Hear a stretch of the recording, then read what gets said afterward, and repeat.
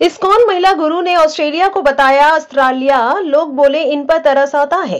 क्या आपको पता है ऑस्ट्रेलिया का नाम कभी ऑस्ट्रेलिया था, जहाँ महाभारत के समय के सबसे शक्तिशाली हथियार रखे जाते थे? नहीं पता। कोई बात नहीं। हमें भी नहीं पता था। आज ही पता चला है। ये ज्ञान आया है इस्कॉन से जुड़ी निताई सेवनी की जानिब से, जिनके नाम के आगे लोग माताजी लगाते हैं। उनका एक वीडियो सोशल मीडिया पर वायरल है। इसमें वो अपने कुछ अनुयायियों से भारत के पौराणिक इतिहास पर बात कर रही है। देखने में लग रहा है कि इस्कॉन की माताजी कोई आध्यात्मिक सेशन ले रही थी। उसी दौरान उन्होंने ये कहा, दुनिया भर पहले युधिष्ठिरा महाराज की हुकूमत थी। आज जिसे ऑस्ट्रेलिया कहते हैं।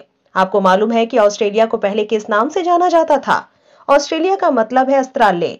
वो जगह जहाँ पांडव अपने अस्त्र या हथियार रखा करते थे, वो अस्त्रालय हुआ करता था जो अब ऑस्ट्रेलिया हो गया है। इस्कॉन की माताजी निताई सेवनी का ये बयान सोशल मीडिया पर वायरल हो रहा है, जिस पर जनता ने अनभक्तों को ट्रोल किया है। सोशल एक्टिविस्ट प्रशांत कनौजिया ने इस पर तंज कसते हुए कहा, भक्तों का नया शगुफा ऑस्ट्रेलिया का असली नाम अस्त्रालय है, जहाँ पांडव अपना अस्त्र रखते थे। एक यूज़र ने लिखा, रविशंकर ने इन्हें कॉपी किया है या इन्होंने रविशंकर को या दोनों को एक ही व्हाट्सएप फॉरवर्ड मिला है?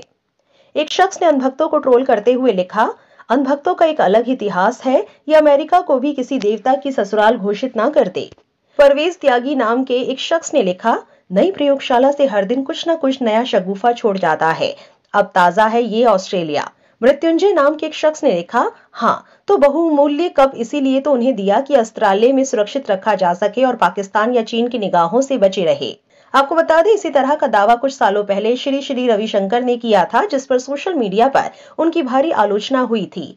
रविशंकर ने अपने बयान में कहा था, देखो, इस ऑस्ट्रेलिया का मूल पता है कैसे आया। महाभारत में ये अस्त्रालय था जो बाद में ऑस्ट्रेलिया बना। कहते हैं वहाँ सारे पावरफुल वेपन्स रखे होते थे। इसलिए आज भी ऑस्ट्रेलिया के बीचों बीच पूरा मरुस्थल है।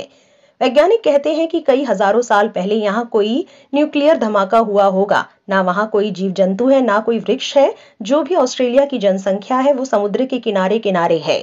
आपकी क्या राय है? कमेंट में ज़रूर लिखें। हमारे चैनल को सब्सक्राइब करें वीडियो को लाइक और शेयर करें।